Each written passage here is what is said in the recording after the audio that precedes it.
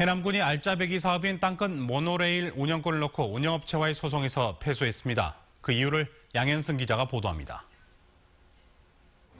해남군과 민간업체가 각각 15억 7천만 원씩 투자해 지난 2005년 완공한 땅끝 모노레일.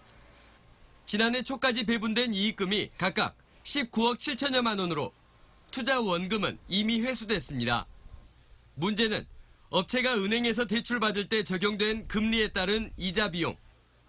업체 측은 사업 초기 대출 금리인 연 9.86%를 감안하면 2028년에나 투자비 회수가 가능하다는 입장이지만 해남군은 연 6%대의 실질 금리를 감안하면 3년 전인 2015년 이미 투자금 회수가 끝났다며 운영권 종료를 주장하고 있습니다.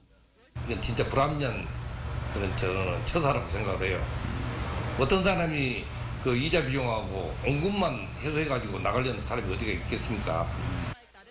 해남군이 제기한 민사소송에서 법원은 업체의 손을 들었습니다. 연 9.86%의 대출금리 부담을 해남군이 협약 당시 인정한 것으로 판단해야 하고 운영 기한도 끝나지 않았다고 해석했습니다. 다만 최초 대출금리 9.86%를 그대로 적용할 근거도 없다며 한국은행에서 고시하는 실질 금리를 적용해야 한다고 단서를 붙였습니다. 그 내용에 보면은 어느 상세 시점이 명시가 돼 있기 때문에 우리는 어느 정도 음, 겉으로 보기에는 진 것 같지만 내용상으로는 얻는 것은 어느 정도 얻었기 때문에 회사라고 할 수는 없을 것 같습니다. 1심 법원 판단대로라면 남아있는 금융비용은 4억여 원.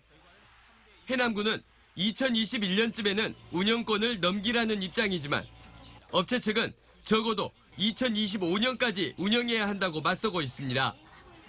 2004년 투자협약 당시 운영 기한을 명확하게 못 박지 않아 불거진 모노레일 운영권 다툼은 해남군의 항소로 2차 법정 공방에 돌입했습니다.